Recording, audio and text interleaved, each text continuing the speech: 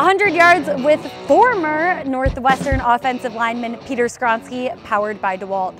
Peter, we had over 150 Northwestern football letter winners back at practice today. Yeah. What are you most excited about becoming part of that alumni group? I think it's really cool. I don't think it's really hit me yet. Um, I don't even really count myself as an alumni right now. I guess I'm technically still in college, so um, definitely a really cool brotherhood of guys who obviously love the program and love Northwestern, so it's special to be a part of that.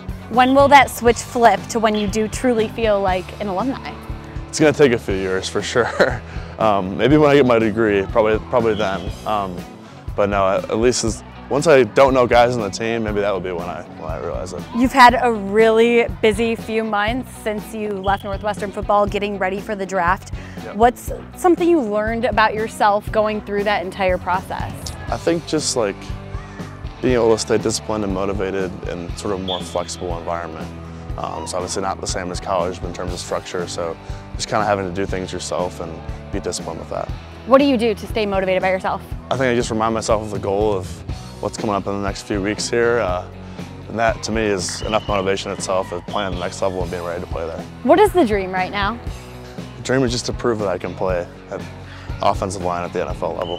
What do you want people in the NFL to know about you that they can't see through all the media, through Google searches, any of that? Um, I just think I'm someone who's tries to be as consistent as possible and is really just someone you can count on on your team. What does the ultimate teammate look like? Uh, you know, I'll just echo that. You know, someone who's dependable, someone that you can rely on, and someone who's going to do things right day in, day out. What are you going to miss most about Northwestern football? I think my teammates and my coaches. What is your favorite memory you've shared either with the offensive line or offensive line coach Kurt Anderson? Probably when he uh, pretended to destroy a computer to prank Coach Fitz back.